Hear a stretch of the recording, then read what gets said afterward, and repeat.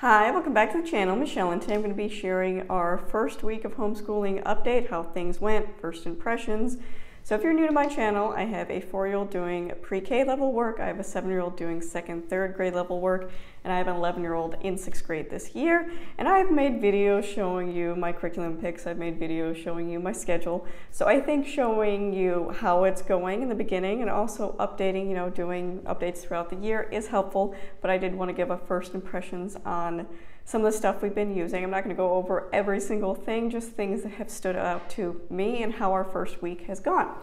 So the first one I'm going to talk about is my four-year-old. So he got a new schedule, and one thing I wanted to mention is having a visual schedule for him this school year has been really beneficial. It's his first year having his own schedule.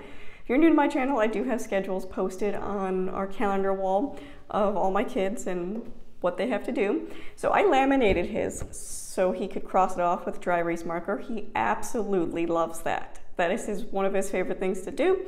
And I was concerned this year because when he had transitioned from preschool to more pre-K level work at the end of this past year, it took him about a week to adjust to the transition. He was a kid that really likes to do the same thing, but we had finished the letter of the week curriculum. We had to move on to something else, and it took him about a week to get used to it. There was no transition issues this time. He absolutely loves what we're doing right now. One thing I did want to point out is this Fun Time Phonics. He's really liking this. And something that he was struggling with was letter sound recognition in words. So segmenting and things like that, pulling out the different letter sounds. And that has helped. I think also core knowledge has helped with that. We started this core knowledge preschool units at the end of this past school year, into summer, into right now. If you're not familiar, Core Knowledge is completely free online. I'll link it down below. I have lots of videos talking about Core Knowledge on my channel because I think it's an awesome resource.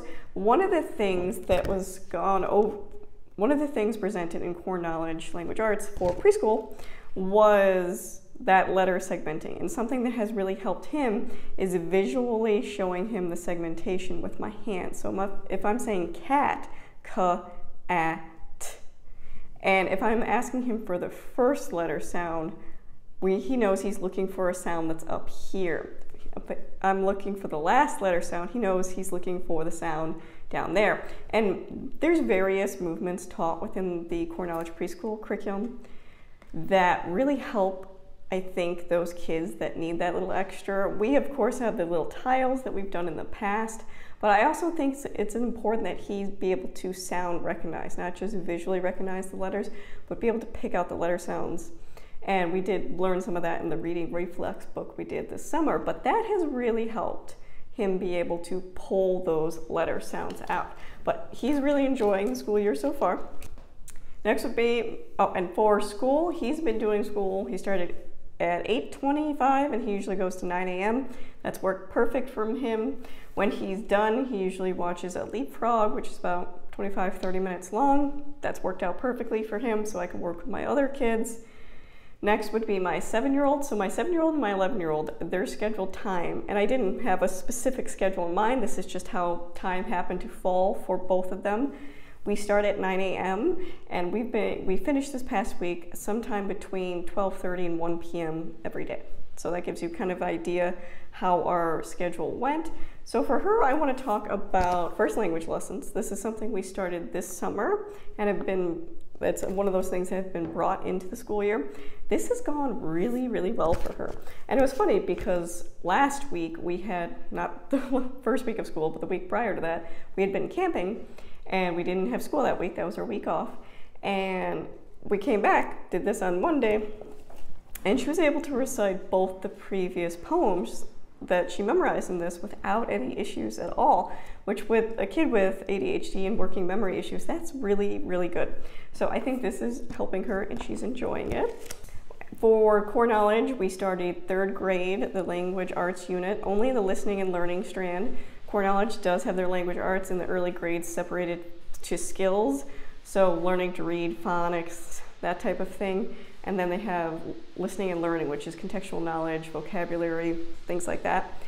So we started with Wind in the Willows. It's funny, I didn't remember, because I've read it in the past, but probably when I was a child, how um, intricate the language in it in it is, not only do we had to pull out different things like what does oh bother mean, which it does tell you in the teacher guide um, what these different you know British slang words mean, but it's not holding back on the language and the vocabulary, which I really really like. I love that core knowledge introduces higher level vocabulary than just basic, you know, what I think a third grader would probably be exposed to.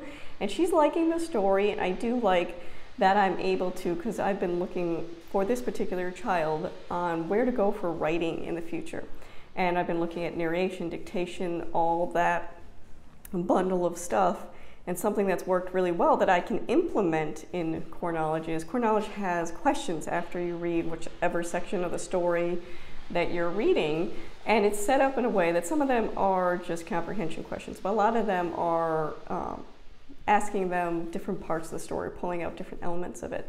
So what I've been having her do with that is I've been having her um, just answer in complete sentence. So she's used to answering these types of questions, but after you know first language lessons and looking more into you know narration and dictation, I'm just having her make sure she's answering in a complete sentence. So I've been able to incorporate some of the things I've learned um, with my reading into core knowledge naturally, and that's just to prepare her for writing in the future. But she's done really well. The only change we really made from summer to uh, this school year was we added core knowledge third grade. And she has no trouble doing all the things that I talked about in my schedule and getting that done. We have had no issues. We didn't overschedule or anything like that onto my 11 year old. So for her, she started Lightning Literature. That's been going well. We are still in the review part of grammar, so that's really easy for her. The Wizard of Oz, this is a book she's familiar with, so that's easy for her, but it's going well. And my concern was we have both Lightning Literature and IEW going at the same time. She does not do the writing component of Lightning Literature instead, she does IEW, and that's been working fine schedule-wise. She, the first day, I would say Monday, when I was going over her schedule, she knew what her schedule was prior to this, but just reminding her of what her schedule was for that day and kind of pulling out the things and looking at them, she did feel a bit overwhelmed, I'll be completely honest. She thought it was a lot, but I sat her down, I explained to her that one, she's capable of these things. It looks like a lot, but once you get started, it's going to go really quick because it's a little tidbit here and there. It's not like we're spending 45 minutes on one section. She's moving on quite quickly. And after that, I gave her a few minutes. She sat down with her stuff, and 10 minutes into it, she was flying. So just that reminder of when they need that little nudge and when to back off. That was not a moment to back off. That she is capable at this. I'm very mindful of the things I choose for my kids and the scheduling I do for them, and she was completely capable, and she was and did and realized that, which was really nice. So there's been no issues or conflicts with fitting everything into her schedule. One of the things I did is we went with 2B instead of 1B, and that's just because she's used IEW for multiple years. The I did have her test out this past summer, the 1B level, and she's flying through it. So I was like, let's move on. And it's gone well. She's on week five right now, because we did start it during the summer. And she's usually, she watches the videos the first two days. She has her paper completely written for me. I think this last paper, she wrote three paragraph paper and she had that done by Thursday, handed in, corrections. The only thing she had to do for Friday was the corrections I made on her paper. But it's going really well. She, again, knows the format, she knows the style, she can fly through it, which is really nice. One of the things we also started was the next level of Michael Clay Thompson. So far, we, this has just been all review.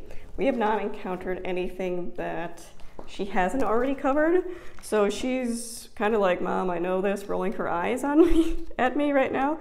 So yeah, we got to, we're at level or level two, the parts of the sentence. So I think she's rolling her eyes at me for the level one parts of speech because that was all pretty much the first level of Michael Clay Thompson. So I think once we get um, to part two, maybe it'll be more, it'll be new information and not so I know this already, Mom.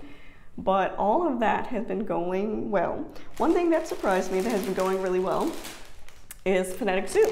She did her first lesson in Phonetic Zoo this past week, and one of the things I did for her is I set it up on my computer. Now, the program suggests you use headphones, and I wanted to be able to hear my daughter doing it for a couple reasons. One, it's easy for her to, because there's the first track is them saying the word and saying it in a sentence and you write down the word. The next track is the corrections for those individual words. It's very easy for a child to just skip the corrections and it looked like they did it. So I wanted to make sure that we went through it and I was hearing her listen to the jingle, listen to all of that, um, the words, writing down the words, because that is an important step. Although Phonetic Zoo is meant to be independent, I think with independent work, it's something you work up to, and it's also a level of trust with your child. So she knows that I expect her to actually do the work as it's written, not, you know, skip or cheat or get lazy with it, because that does happen. Naturally, kids will kind of ease into that if you're not checking their work or if you're not doing your job as the teacher, it's very easy for them to slack off. If you're slacking off, they can slack off pretty easily.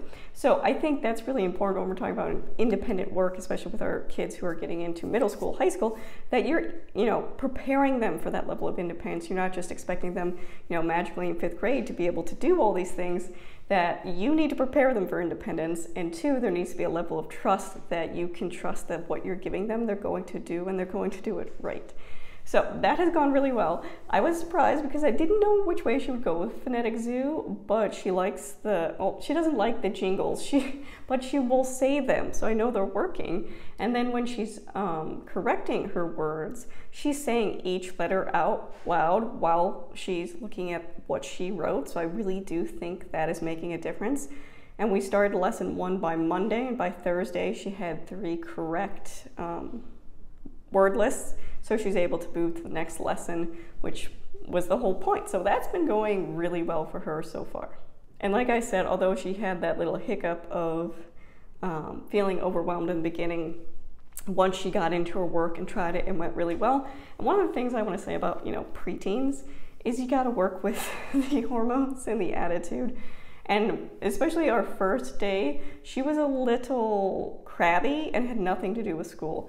She was crabby because her the shirt, because we take first day pictures, the shirt she wanted to wear was in the dryer, not dry yet. And I was like, it's fine, we can take your picture later. We don't have to do it right before school. And she was just flustered with that. And then her phone wasn't charging. When I say phone, she has my husband's old phone that can, um, it's pretty much like an iPod. She can listen to music and she has a couple apps on there, but it's not for calling or texting or any of the typical things you would see for a phone. It's parental control and everything like that, but it wasn't charging correctly, so she was just irritated. So, you know, after her first 10 minutes and she got into her work, I just made her a little mock coffee and used some cold foam on there and just set it gently in front of her and walked away. And, you know, within 10 minutes, her attitude was completely different. So my go-to when she's getting a little flustered or overwhelmed or emotional is to, you know, give her a little treat, give her some chocolate, give her some coffee, something to, you know, just refresh her. And that has really helped. So let's go into group work. So the couple things I'm going to talk about. We were supposed to start our election study with Mint in Bloom this past week, and we did not, and that's solely because the candidates have changed. So when they first put out, they put the first two weeks out of the election study, and you can get it through their newsletter or purchase it. If you get it through the newsletter, it's free, or you can purchase it through Mint and Bloom. But the first two have the original candidates, Biden and Trump, and now that has changed. So they're going to be updating the units. So I'm waiting for the updated units before getting into it because the first unit is talking about the individual candidates running for president. So we did not do that. But the things we did get to are I'm going to talk about art. Art went really well. This very these Glencoe books very much remind me of the Harcourt art books we were using prior.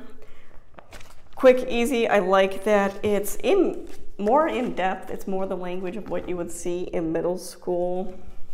We haven't gotten to an actual activity yet.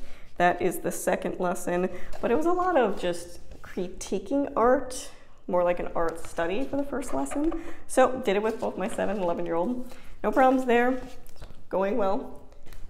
Next, I'm going to talk about core knowledge history and core knowledge science. So we did, we were doing core knowledge United, United We are doing core knowledge United States history this year. Last year we did United States history using O Freedom, and I decided to do a two-year cycle for United States history because one, is super long, and two, there's a lot to cover, and I want to get a lot of perspectives in it when I talk about United States history.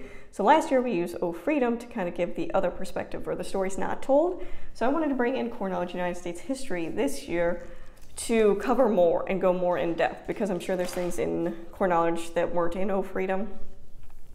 So we did the first full week of core knowledge, and one thing I'm doing different this year with core knowledge is I'm actually following the pre-made lists. So when you look at the teacher guides, they have pre-made lists like this that break down by day for you exactly what you're going to do.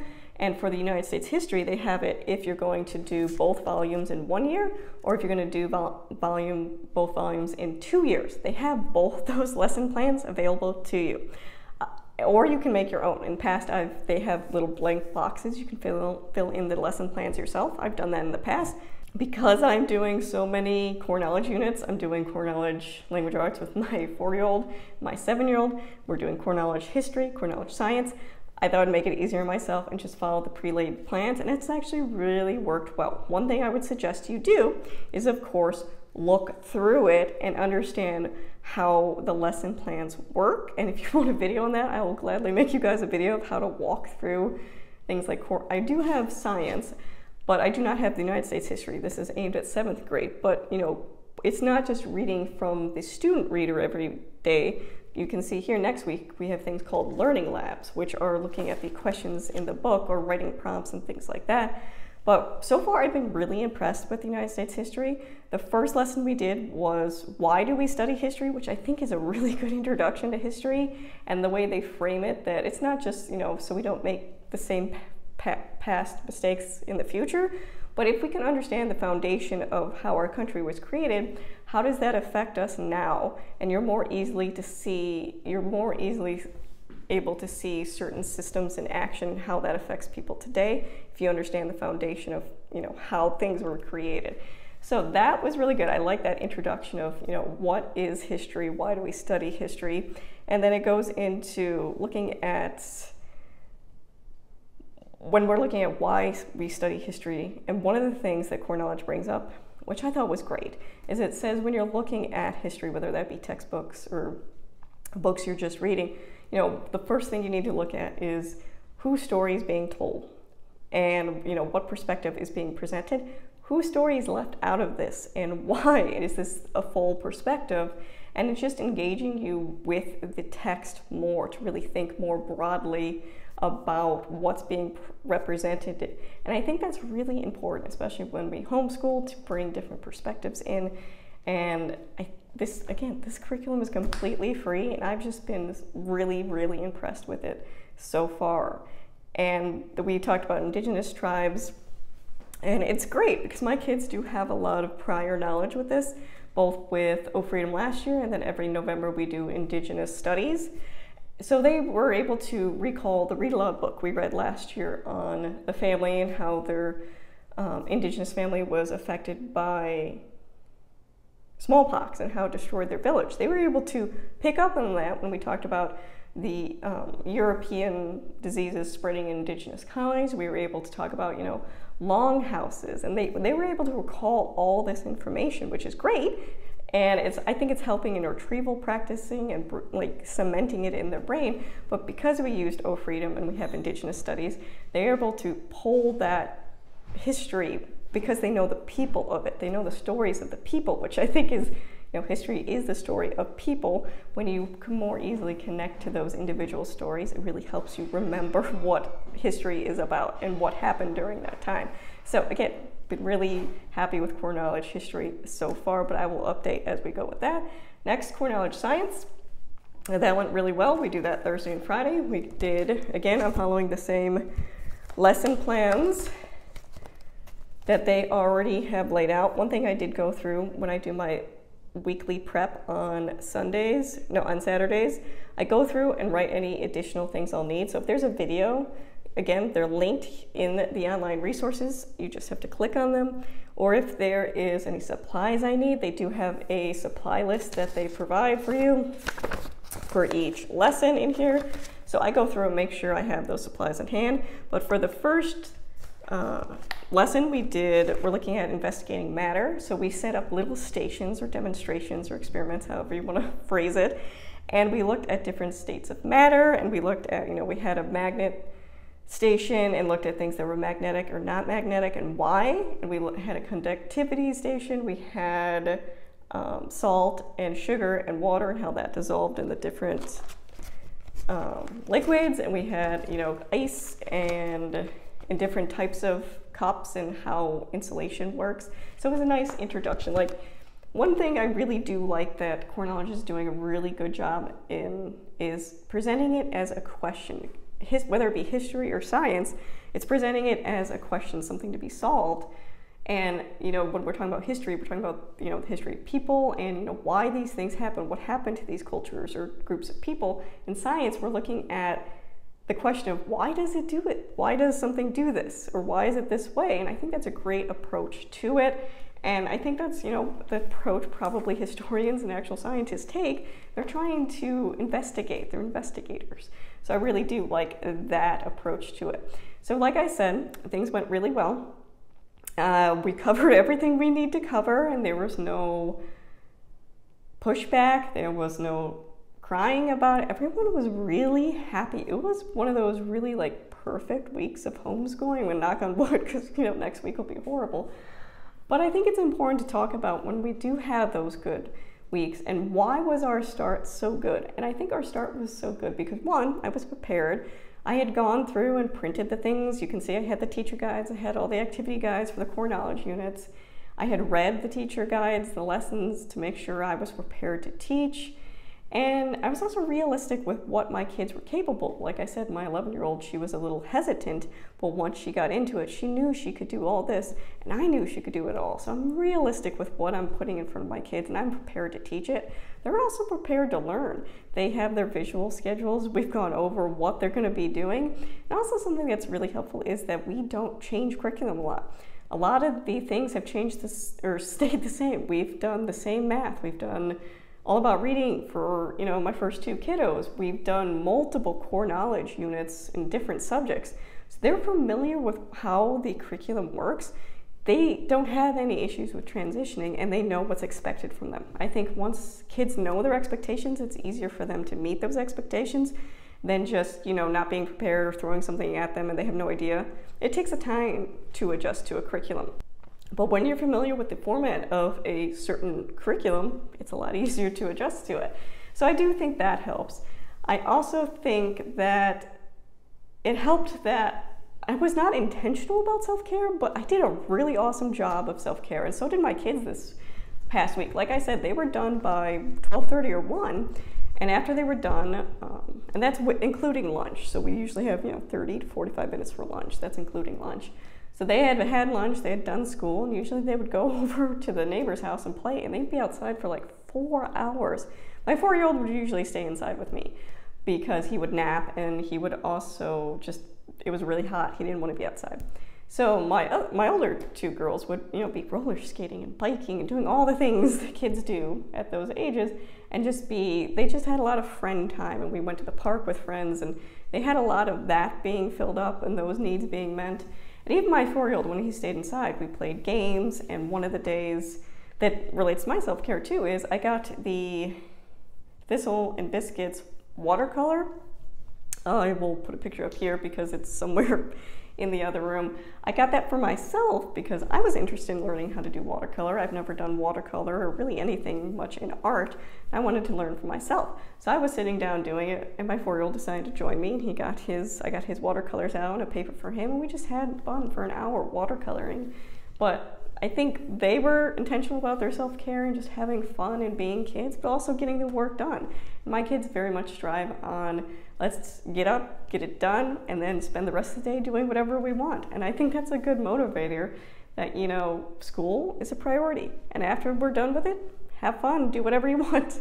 And the same thing with me, because we were done by 1 p.m., I was able to do a lot of things I enjoy. And something I've been doing a lot lately is reading.